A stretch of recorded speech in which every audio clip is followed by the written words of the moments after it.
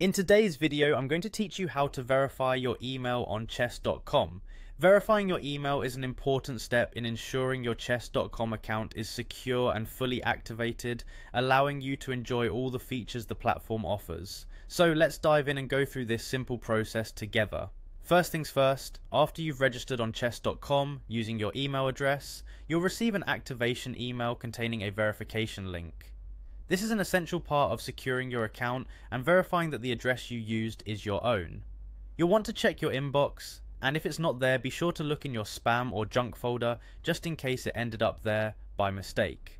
Once you're in your email, head over to the inbox of the email address you used to register on chess.com. This is the email chess.com will send all its vital communication, including your verification link.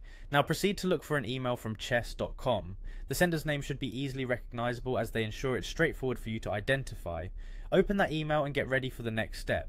Now that you have the email open inside, you should see a message containing a body of text and, most crucially, a button you need to click. This button is typically labelled Activate Your Account. Clicking this button does more than just activate your account. It confirms that the email address you've used is both active and belongs to you. This extra layer of verification helps keep your account safe and secure from any unintended access. After you click on activate your account, the link will redirect you to a confirmation page on chess.com indicating your account is now verified. And that's it, you've successfully verified your email on chess.com. This is a simple yet significant step to ensure you have uninterrupted access to all the chess playing features, lessons, and games the platform is renowned for.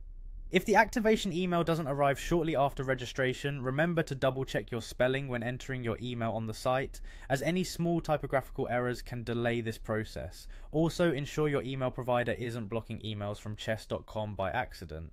This straightforward task ensures your experience on chess.com is safe and seamless. You're now all set to delve into the world of online chess, whether you're planning a quick match, learning some new strategies, or just connecting with other chess enthusiasts around the globe. Thanks for watching, and happy playing.